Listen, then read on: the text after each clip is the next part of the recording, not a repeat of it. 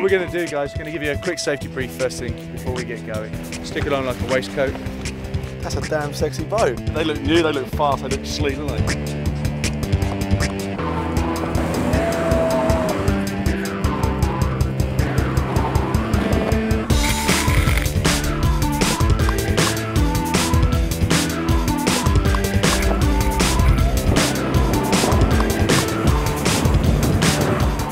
Ah, it's fantastic. What more could you ask for, especially if you get perfect weather for it as well. Really enjoyed it, really fast and like, exhilarating, yeah, excellent. We are in Cowes on the Isle of Wight, a couple of pints, a nice lunch, and now we're just about to go back on the ribs. Can't wait for it.